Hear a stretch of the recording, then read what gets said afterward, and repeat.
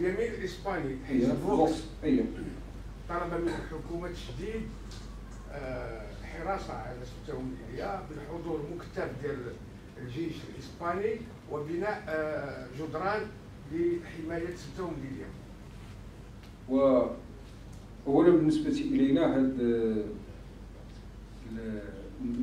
الوضعية المدينتين معروفة مدينتين محتلتين.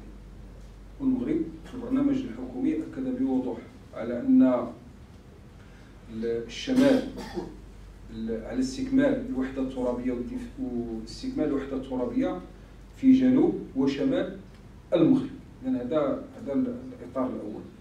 ال- الإطار الثاني المرتبط أيضا بهذا بهذا السؤال وهو ما سبق أن أكد عليه المغرب في محطات سابقة.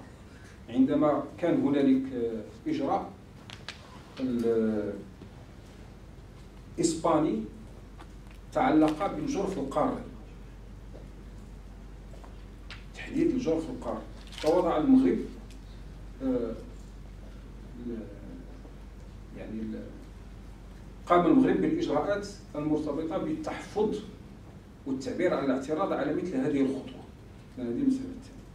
المسألة الثالثة هو أنني كما قلت سابقا ما يمكن أن أعلق عليه هو الإجراءات التي تعتمد بشكل رسمي